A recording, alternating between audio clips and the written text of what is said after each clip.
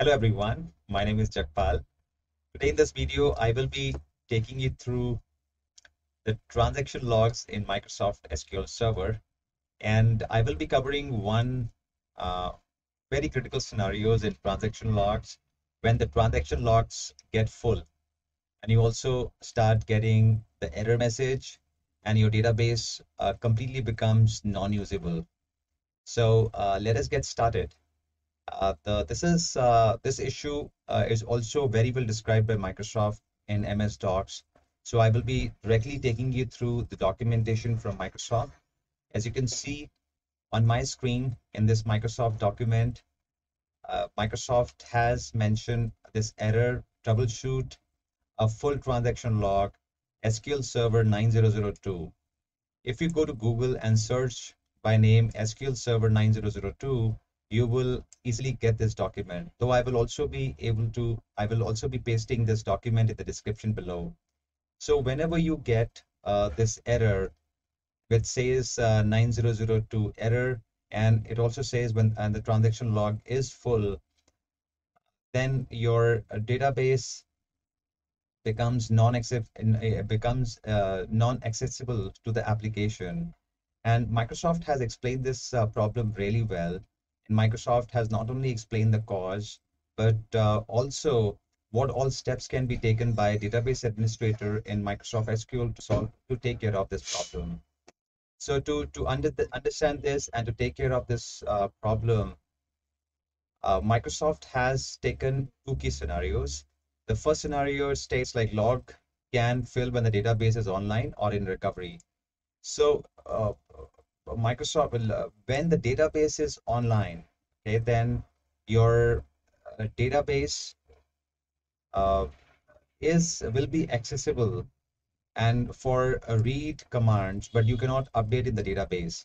But if the log files during recovery, if the database goes into a recovery mo mode, then the database engine marks database as resource pending. In other case, user action is required to make the log space available. So this means for uh, you to get your database back to accessible mode where your application is able to access it, it is very important that you should be able to free up the space in the log file so that your, your log files can uh, take more records or else you should be able to truncate the record from the log file so that the space in the log file becomes reusable.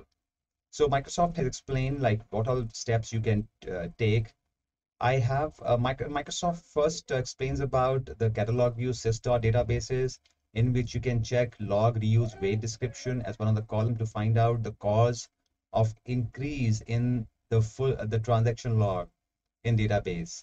I have covered this in one of uh, the previous uh, one of my previous videos.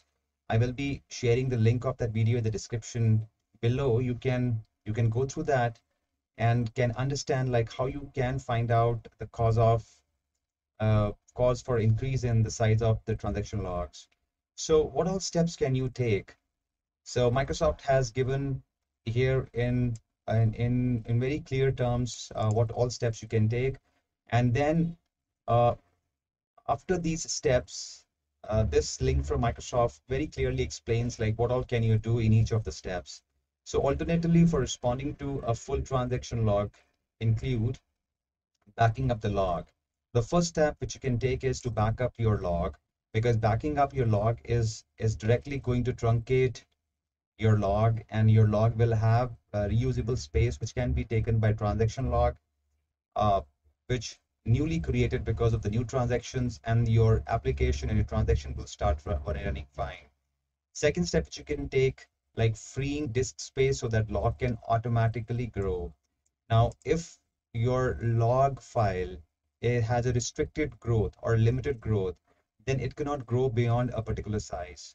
In that case, you can ensure that log uh, can freely grow, uh, like can automatically grow, automatically grow, and so that whenever it needs more space, uh, log file can expand and can create free space which can be consumed by uh, the new transactions which are which are to be taken place in database That is another way. Moving the log file to a disk drive with sufficient space. Now, moving the log file to a disk drive. Uh, so this means, let's take if you have log file in D drive, which has shortage of space, then you can move this log file to a different drive, which has sufficient free space available. That way you can also take care of this problem.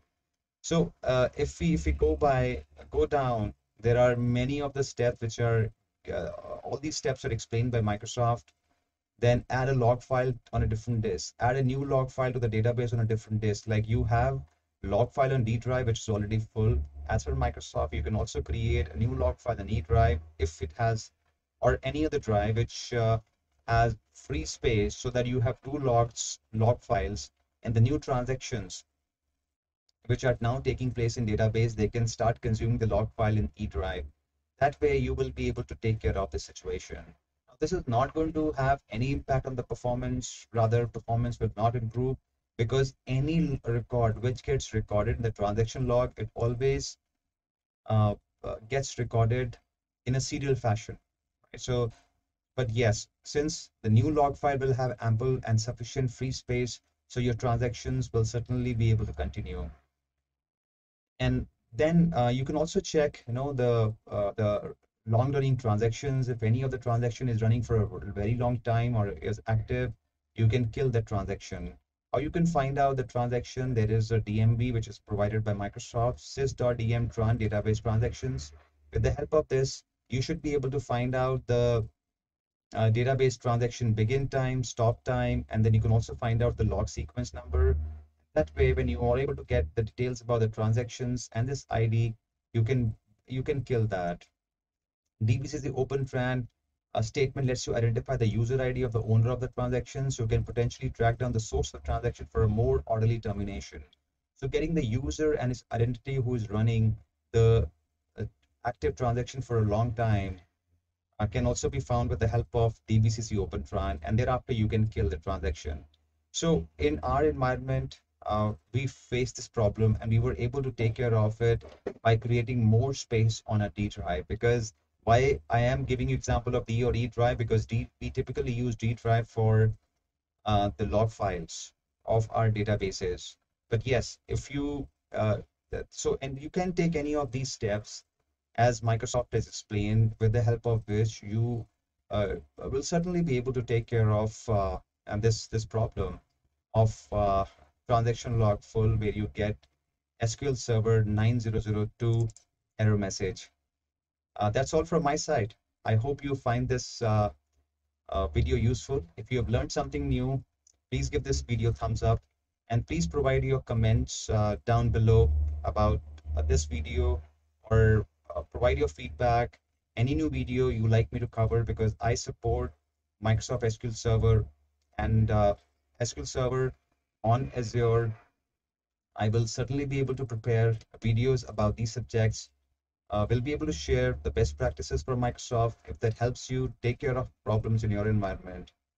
Uh, it's, it's great preparing such videos which can be helpful to others. So thank you so much. Uh, have a good day. Bye-bye.